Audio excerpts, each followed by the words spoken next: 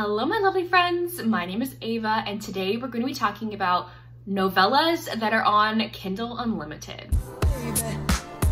This is a wonderful collaboration with Samantha from Books with Samantha. I absolutely adore her, and we have so many similar tastes in romance books, especially when it comes to novellas. We are both novella fiends. We eat them up and I love talking to her about them. We decided to make this also specifically novellas that are on Kindle Unlimited as well because there are just so many novellas that are on there. Also, be sure to check out Samantha's video. It's going to be linked down below for you to get even more recommendations. I also have previous videos for novella recommendations if you want to check that out too. Those will be down below. However, not all of those I don't think are on KU but these ones in this video are. So let's get started. The first two I have are from the same author and they're recent reads of mine. First one is Me at the Anvil by Kate Prior. This is a historical romance standalone. So our heroine here, Diane, has a chronic fainting condition. And so there's not a title for her condition because back in the day, there wasn't really a way to diagnose people with like conditions like mine, like POTS where you faint. So maybe she had POTS, maybe she didn't, I don't know. But I loved that representation in here. I thought it was great. Anyway, she is engaged to be married to this guy she doesn't really care for holds no passion to whatsoever, but she's kind of been forced into this marriage, you know? She has feelings for the guy's best man though, like she is fully swoony hardcore over him, but she thinks that he's like so beautiful and amazing, and she's so plain Jane, he won't ever think twice of her. She ends up fainting in a very inopportune moment. She ends up fainting when she's saying her wedding vows to this guy and she faints she wakes up and realizes i can't marry this dude like no it's not going it's not going to go well and so she becomes a runaway bride. She runs away from the wedding. The best man ends up chasing after her and traveling with her to possibly Scotland. On our journey there, he tries to convince Diane that he actually has feelings for her. This one was so fun. I really liked it. A great standalone historical romance. There's also a fainting goat in here, which was really cute. And they're just traveling across England and staying in an inn together. It was just, it was great. I really enjoyed this. Believe it or not, the same author wrote this book, Love, Laugh, Lich, which is a monster romance. I was very surprised when I realized this was the same author as the other book. This is also a workplace romance that was highly entertaining. So Lily is our heroine in here. And she's a personal assistant to Sovin and it's a little bit unconventional because Sovin is a lich. It's like a demon creature being, a monster essentially. And he is the CEO for like this evil company and she's his personal assistant. And they've been working together, I wanna say for maybe like five years. Everything changes one day when she forgets to knock on his door when she walks in with his morning coffee and she finds him in a state of undress in his office. She's like, oh no, I'm so sorry, runs away out the door and is mortified. Things change after that because they can't stop thinking about each other afterward. And that entails maybe some time in the office together alone if you get my drift. this one was highly entertaining, a great monster romance. You know me, I love monster romances, so I gotta talk about them in this video. Sovin was also so sweet. You wouldn't expect this monster creature on the cover to be sweet, but he totally was. I loved it. I thought I'd mention two Jessica novellas. I haven't read Jessica in a while, but these are two of my favorite. My top favorite from her is King Sized. I can never not talk about this book. Our heroine Britta in here is um, a princess, well now a queen. Her parents, both of her parents just died, so she inherited their titles. She is now queen of the land. And this book takes place directly after her parents' funeral. She is crying, sobbing in her room and Rex is one of the many bodyguards who is stationed outside her door to protect her. He is hearing this woman cry and he is so upset. He's like, is no one gonna go in there and console this woman? She's completely alone in there. No one else will volunteer for the job but him. So he goes in there to console her. He's like, screw it. If I lose my station, it's fine. Like, I'm just trying to make this girl feel better. She is eternally grateful for him coming to care for her and has not stopped thinking about him since. And the two of them get into some steaminess together and she tries everything to make like Rex her personal bodyguard so she can have alone time with him. I adore bodyguard romances and this one was just great. I loved it. There's also like an age gap romance in here and Britta, even though she's quite innocent, takes a more dominant role and it was hot. It was hot, it was good. Another Jessica Kane one is Breaking the Bully. I know Rachel from Rachel Reads and Sings absolutely adores this one. Rachel's also another friend of mine who you need to go to for novella recommendations, just saying.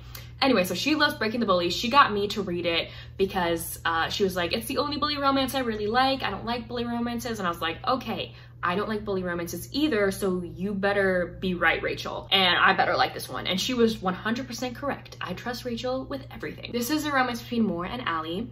So during their early years of high school, the two of them were um, pining for each other all of the time. Basically, Moore goes out on a limb to kind of admit his feelings for her. But afterward, Allie stops talking to him and he is pissed. He starts bullying her in school and is bound to like make her life a living hell essentially. But then Moore realizes the reasons why Allie stopped talking to him and he is mortified. He begins the ultimate grovel and just wants another chance with her. This is the only bully romance that I really liked, so take with that what you will. This was great. Trigger warning in here also for domestic abuse before before you dive in, just by the way. Next, I have a whole series for you. I've read all of the books in this series. This is the Big Boy series by Cassie Mint. They can all be read as standalones. They do not correlate with each other at all. They just have a common theme of having a hero who's a little bit thicker. You know, love it, love seeing that. Um, and so I thought I'd go through the books in this series very quickly. There's eight. Um, and so I thought I'd just give like little one-liners or two about each one. So first one is Big Boss, which is an age gap romance between the heroine and her roommate, college roommate slash best friend's dad. And they're stuck together in the same house. Loved that one. That's like one of my favorites. Big Biker is about um, the heroine who's been in a very sheltered life who falls for a biker dude. Big Boxer is about a heroine who falls for her all-time sports like crush. She had posters of him when she was young on her walls. Um, he's like a very prolific boxer, but she ends up becoming a journalist later on in life and ends up writing a bad review about his recent performance and he goes to her house to figure out how she knew that and to confront her basically. Big Baker is about a um, service cleaning lady at this hotel falling for the chef there. That one's just so cute. Then is Big Bet, which is a favorite with my friends. I loved this one. This is a friends to lovers between a, I believe, dancer at a uh, casino in Las Vegas and one of the blackjack dealers. And yeah, they are roommates and they're friends and they live together and finally admit their feelings. Big Bratva is a mafia one.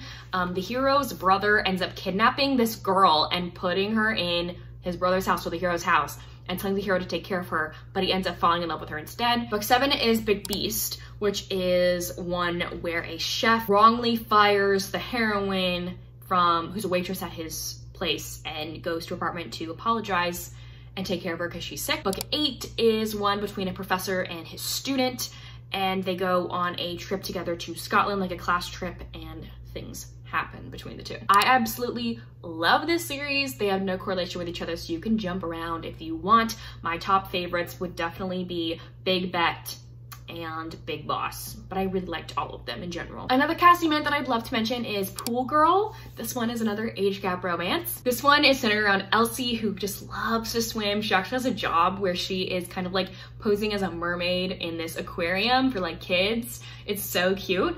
Um, so she takes every chance that she gets to be in the pool and she has a pool in her apartment complex and she just gets on a float and floats all day long on it after work and she loves it also because the pool is right next to the um, apartment caretaker's office and he has a window that looks out into the pool and she has a huge crush on him.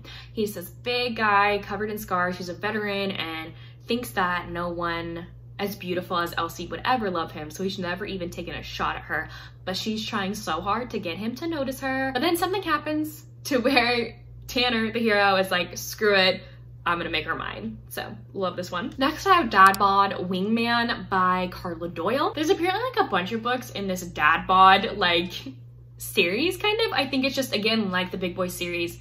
It's just about like thicker men falling in love with women. Love it. Um, but the series is like written by different authors. So I definitely need to go check them out. So this is Carla Doyle's addition to the series. This one's about Jensen and Bailey. They are childhood friends that have basically always been pining for each other. But then Jensen moves back to his hometown and runs into Bailey again. This time when he sees her, he gets up enough courage to finally ask her out and she says yes. He was super surprised when she says yes and he's even more surprised to find out that she has been pining for him just as long as he has. This was just a super cute but very hot Very hot friends to lovers romance that I just love. Next is a historical. This is The Chasing of Eleanor Vane by Sarah Simone. This one is so interesting. So our heroine in here is engaged to married to this guy. This guy is not that great. He's kind of like the typical frat boy dude who just wants to get with women all day long, doesn't really care about the heroine, whatever.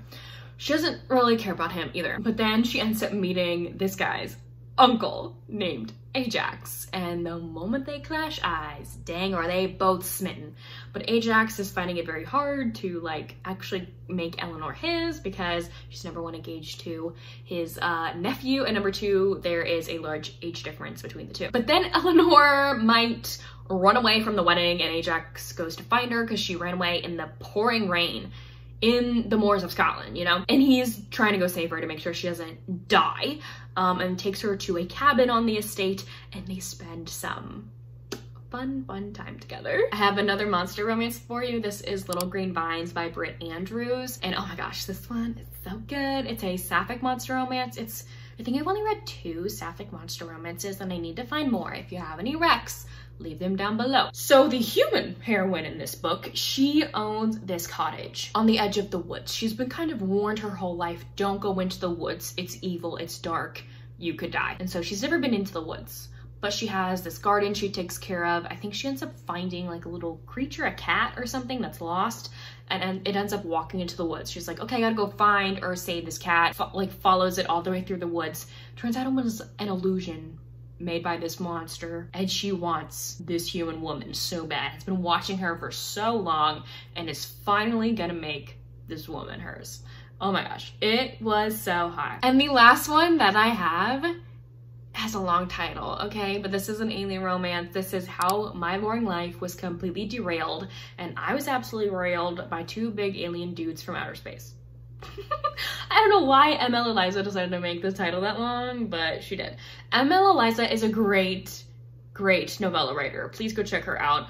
Um, this is just one of them that I really enjoyed. This one's about a human woman who is abducted from Earth by this alien king and she ends up hooking up with the king and the king's bodyguard who are already in a relationship basically. The bodyguard and the king are together and they want her to like be with them. So it's an MMF romance. This was so good. It was so fun, so hot. We also have thicker heroes in this one.